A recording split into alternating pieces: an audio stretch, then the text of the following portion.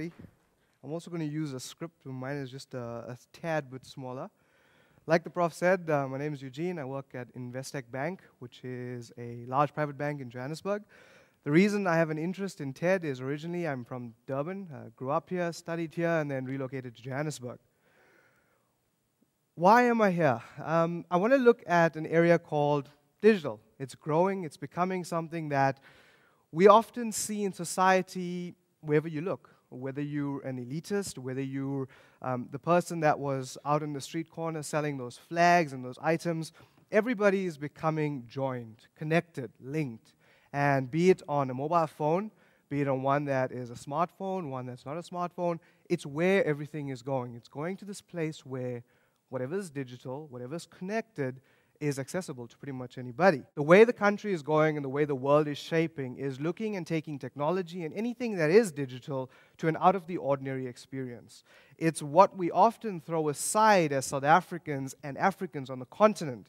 We often put ourselves in a box or in a situation of thinking that we can't compete with the rest of the world or we don't have the skills or the technology, the bandwidth to be able to challenge what is done in America, what is done in Europe, and that's where I think we need to change our thinking.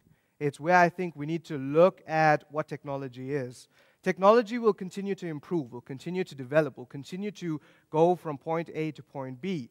It gets funded and pushed forward by individuals. Those individuals are you and I. We have always seen through the history of man that there's always been a need, and once the need has been identified, solution, solutions have come up. And yes, some of them have taken a long time, and some of them have, done, have been done fairly quickly. 3500 BC, some guy had the brilliant idea to take a, a, wheel and attach it to a wagon, and your first mode of transport was created. Since then, everything from submarines, um, rockets, supersonic jets has all been created, which started out as a need to move from point A to point B. Very simple in itself. What has happened, though, in all of this time is that the world goes and looks at it and says, well, are we reaching the stage where technology is taking over, where the internet is destroying everything else? People are afraid that the internet's going to replace television, going to replace radios. And then you're going to have the situation, well, I don't have TV anymore. I can tell you assuredly that television, or the future of television, is television. The future of radio is radio. The internet and digital technologies that exist is bridging the gap between them. He's taking them out of being in a silo and putting them in a place that's connected. So, whether you're sitting in America or South Africa or in Australia, you're allowed to interact. You're allowed to experience a brand that was created here or there or anywhere being connected is going further. And with the way that our world is shaping up at the present moment, you would know that there's huge hype around uh, social media. There's even bigger hype around location based services, about how your GPS is becoming an interactive part of your life. And I mean, I'll give you a little bit insight into that. Nokia, as of recently, have launched a service where you can get voice guided navigation free of charge on any mobile device that has GPS. So you can take your cell phone and you'd be able to connect to a GPS satellite and you'll have voice guided service. What does it mean for you? Well, it means that we're reaching a point in society where two years ago, the only thing that had a, the only person that had a GPS was the really rich guy driving the Mercedes Benz who stuck it out the, on his windscreen. It's changing to now, if I have a cell phone that has a GPS, I can get that same service. That is the learning point for us as South Africans. It's trying to establish that, yes, while technology gets developed and initially it may just serve for the elitist, it will reach a point where it reaches mass society. Social media, at one stage, Facebook was for only students in Harvard College. It, it, it, grew and developed and became something that then became bigger. It's now at a stage where you don't have to be on a computer to interact in a social network. You can have a cell phone, a connected device. You can send advertising to a PS3. All of these mediums are becoming connected. And I mean, if you've ever watched um, Discovery Channel and you ever looked at what the future is about, they tell you you'd be able to set up your fridge so that when you finish your bottle of milk, your fridge connects to your Pick and Pay, and your Pick and Pay knows you don't have any milk. And at the end of the month, when you do your groceries, they deliver it for you. It's becoming a world of convenience, a world where whatever you do, whatever you want to do is becoming easily accessible to you or to anybody. Who in the crowd knows what those five icons are for and what good reason would I have to put them up? Oh, wow. Come on, guys. They're all South African. What else? Do we not know them? Pioneers. What did they pioneer? Good. Do you know his name? Okay, Chris Barnard, Schuur Hospital, did the first human to human heart transplant, South African. The very first guy, his name is Allan Cormack. Do you know what he invented? He was a professor, South African professor working at Tuks University, and he, with his team, came up with a CAT scan machine. That same CAT scan machine that we use internationally, worldwide. The third person, if you're into motor racing, you should know that face. Jody Scheckter, 1979 F1 world champion. The Johannesburg Stock Exchange is the largest stock exchange on the African continent. The FIFA 2010 World Cup will, for the first time in history, be hosted on South African soil. So it's not like South Africans are silly. It's not like we don't have the skill or the ability or the talents to go out and do great and wonderful and amazing things. The problem is that we often sideline ourselves and put us into the situation of thinking we can't compete on a global scale. That, I assure you, is not true. Where are we headed towards in South Africa, in Africa, in the world? Where are we going and what can we do about it? The things that we see happening are leading to, you, uh, to a very simple point that everything, doesn't matter what the technology is, is going to be connected, is going to be linked, is going to be accessible to the widest audience. Why is mobile taking off at the rate that it is now? It's because it has a higher penetration than a computer.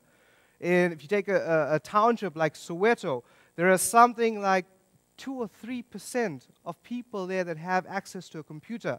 Yet there's a 99% penetration of a mobile phone which is why whatever we're doing, whatever we're developing, whatever we're building, wherever the world is going, is headed towards allowing the content that you have, the services that you're offering to reach the widest audience. How is it possible? There are three devices that have stuck up, and I, I, this is kind of where my heart lies in the world of digital, is all things mobile. And at the moment, if you take a company like Nokia, they have these devices that you see, the green one and the white one.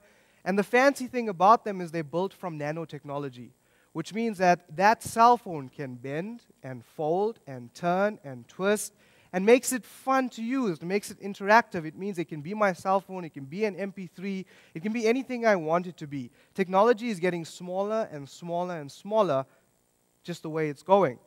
The iPad, which caused a recent stir, which has shaped so many businesses in, in the last month or so, has done that not because it's the most amazing device on the internet or on the world has done that not because it's the greatest creation ever made. It's done it because it's changed the way people think. The way we've gone from a traditional, I want a computer, to thinking far beyond that. I want to be more agile. I want to be able to take my work, be portable about it. And so other companies are following suit and trying to develop for it. The world of mobile leads us to integration, leads us to intelligence. It's where the internet is going. You've often heard Web 2.0, Web 3.0, and even Web 4.0. The point of all of these different stages of the internet is to get to a single point where intelligence leads the web. It's where I don't have to build 20 different um, single pages for an internet to understand what I want it to do, or for the internet to understand what I want it to do. I build and design an intelligent website that will understand how the needs work, exactly the way with the Pick and Pay example that I used. How do we apply it to business? Well, it's kind of taking the Pick and Pay Checkers approach to Woolies, where you can go and buy a can of beans from Checkers and fine, it'll be cheap and it'll be fantastic and wonderful. Or you can go to Woolies and you can buy a bean salad, already washed, already cleaned, all the ingredients added, and you're getting value. What does it mean? What's the example? Well, it's really simple. You can take your sales team and you can shove them out in the world, and sure, they'll do a fantastic job. Or you can take your sales team, integrate them with your marketing, marketing team using digital media, digital avenues that exist, and offer a better product. As South Africans, we have to stop living in our silos that exist. We have to start living outside it and start interacting and integrating with the rest of society and the rest of the world. This is what we often fail in doing. We often think that our technology, our understanding, our brilliance is ours. It isn't. Our brilliance is to better us as South Africans, and in so doing, better our country, better our continent, and lead us to somewhere greater and somewhere so much better. Change is what is needed, and the change from the old method to the new method is where we need to go from. The old method may have worked perfectly yesterday, but I assure you today there is a better, far simpler way of doing it than existed yesterday. What we have in South Africa is a problem of transition. We don't like to explore and go into new realms. We prefer where we're comfortable and safe. It's that thinking that causes us or causes the world to look at us and say, well, that is why South Africa is a third world country. That is not the truth. The reality of it is we have to change our thinking initially and understand that the technology that gets developed, the technology that comes out of our country, is technology that is aimed at bettering the world. Where are all things digital going? All things digital is going to you and I being able to stand up as individuals and say that we can change Africa, we can change the world, not because we think our products and our services are inferior, but we think they're better. The examples that I used in my presentation are nothing fake. They're all real South African products, some of them. The technologies that we have in transportation, the Gautrain, we have uh, South African Airways flights, amazing jets that have been created. We have holographic projection. Now, that's the stuff you see in the movies where people move things around. It isn't just an American trend or a European trend, it's here in South Africa. Tonight, there's a company, that is the company there, LXI, launching that service. Are launching the service where you can stand here and you can be a holograph in Sweden, wherever you want to be, and you can do the same presentation. It is not the future that we see in movies, it's the future that's taking place now. And I challenge you as South Africans to change your mindset and to start realizing that to develop our country doesn't start with the technology, it starts with us as individuals. Thank you.